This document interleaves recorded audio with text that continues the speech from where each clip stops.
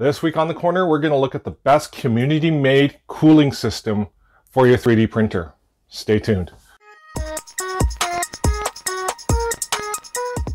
Hey everyone, welcome back to the corner. It's me, Jeff, and this time around, I was actually going to do a video on my Tronxy, but it ended up being a video on the Aquila. So let's talk about that for a second. So I have my two Tronxies. I've been doing a lot of work here, um, actually with the stock firmware for the Tronxy, um, and I'm getting some really good prints and stuff like that, and I'm going to share that with you in a future video. But one of the things I noticed with the Tronxy, and this is my redone Tronxy here with the uh, SKR 1.4 board in it, is there's a bit of a cooling issue. So I was searching and searching and searching, and I was looking for a solution to the cooling issues on the Tronxy. And lo and behold, I found the STL for this, which is the Hero, what is it, Hero Gen 5? Hero Me Gen 5 um, parts cooling system. Now this is a fantastic system. So the Hero Me Gen 5 Master Suite is your all-in-one cooling system. It has several different models of printers, different fan configurations, as well as different hot end configurations and different ABL configurations. As a matter of fact, it claims to have over 3 million different combinations. I'll provide you a link for Thingiverse in the description. But this is a fantastic, fantastic invention, which is just great. So what we're going to do is we're going to go through the uh, information that's in this manual here, and I'm going to look up what I need for my VoxLab Aquila with my current configuration for the uh, VoxLab OEM Surface with um, a Gen 4 style base on top of that. And I have a 5015 blower fan. I have one of them so I'm going to use a dual duct on that I also have the BL touch so I'm going to go with the um, standard mount for that as well just all the basic stuff in order to get myself running I'm also going to be printing this in PETG um, because I'm actually starting to like printing PETG on my VoxLab. So that's going to be the profile I'm going to be using. I'm also going to be doing it at 0.24 layer um, draft mode. Um, it seems to work quite well and I believe I'm going for 40% infill. Make it nice and strong. I'm also going to have supports on the surface only.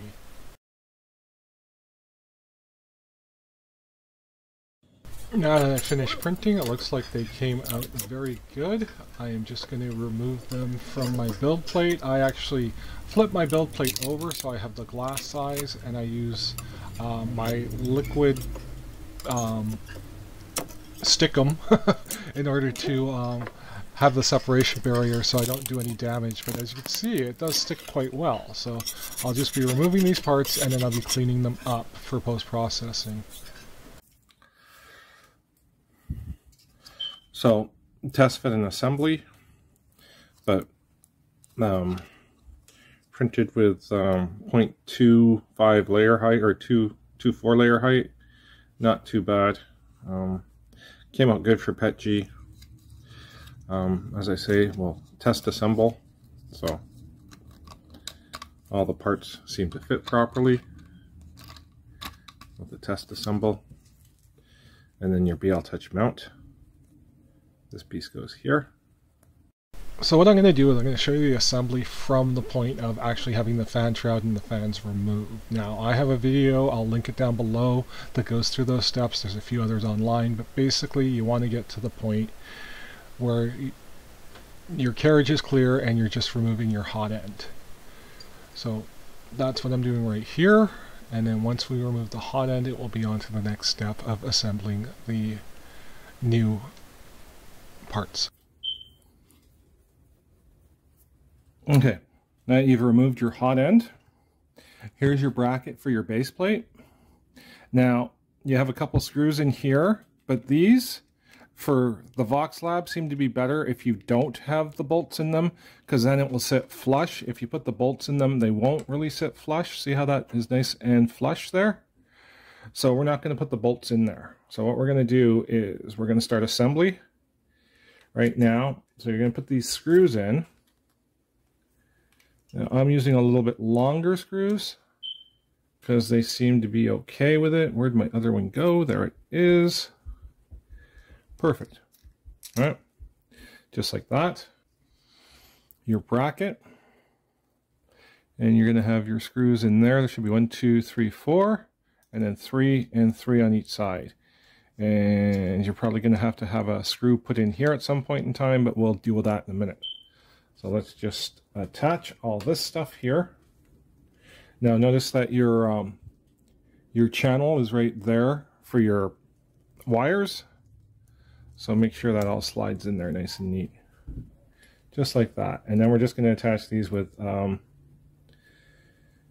M10s, M310s.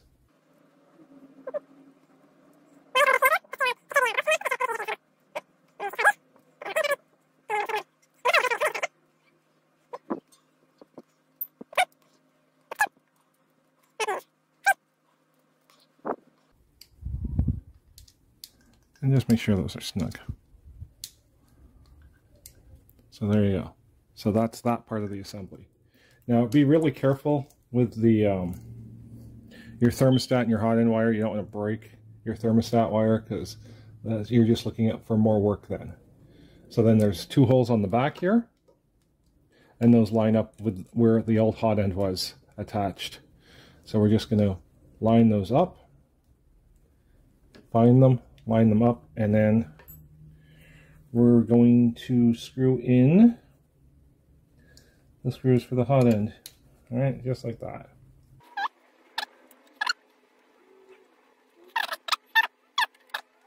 And that is it. That is, you're going to need one here and one from the back here. So let me just uh, snug those bad boys in real quick. So we're going to uh, put the uh, screws on the carriage to secure them, but um, just so you know that um, in the documentation it gives you a full list of what size screws you require for this. So you will see me routing around for different screws and stuff like that. Um, only because I have a bin of them and I'm just trying to use up what I have. But you might want to uh, read the documentation, keep your original hardware, and just adapt to what you need. Now we're going to reassemble the hot end cooling fan. Uh, make sure your sticker is facing towards your hot end, not out. And uh, I'm using some M3s because I noticed that the uh, the screws that came with it don't fit, or at least the screws I had. I don't remember if they were the original screws or not, but yeah. I'm just using some M312s here to mount the fan, and you just want to make sure it's mounted snugly so it won't wiggle or move or be loose and cause a rattle, and that will just drive you crazy.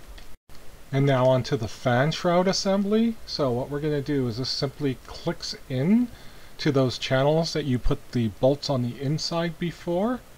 But what you're going to need to do is you're going to make sure of the proper height. So what I suggest you do is that you lower your nozzle until it just touches your build plate and then adjust your fan from there. So you want your fans to be blowing on the tip of your nozzle and not on your heating block.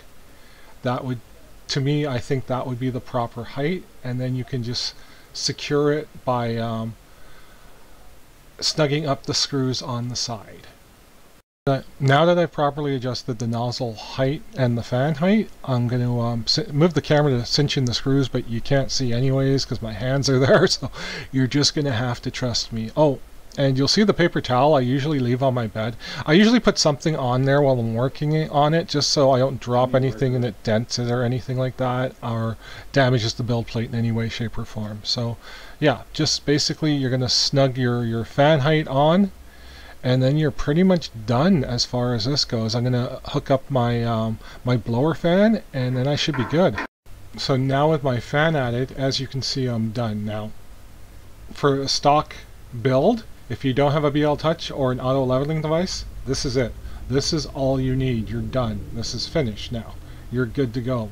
And by my guesstimation, it's also lighter than the Satsana Shroud that I was using before, but that's only by my hand weight, so to speak, right? My hand scale. So I have a BL Touch, So I'm going to go on to the next step now, which is to install the BL Touch. So I've already attached the BL Touch to the BL Touch mounting bracket, as you can see.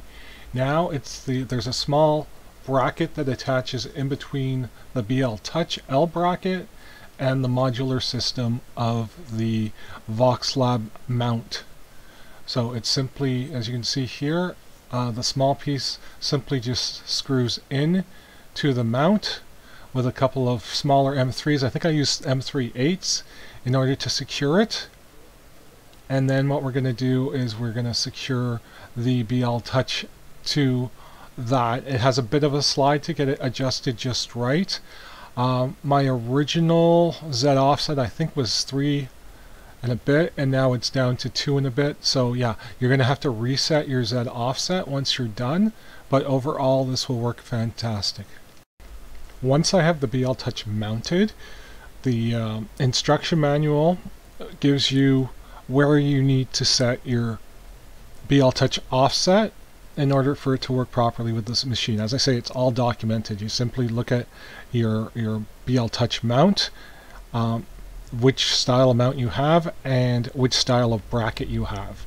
And then you're simply going to go into, uh, well, I'm using Alex's firmware, um, so you'll have to go into there and adjust your um, BL Touch positioning with that. And I'll show you how to do that right now. So you control, advanced, pro. My X offset is minus 43.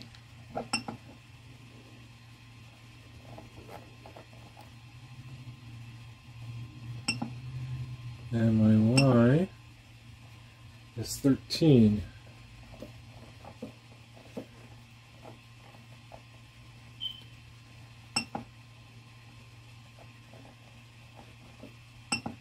Back.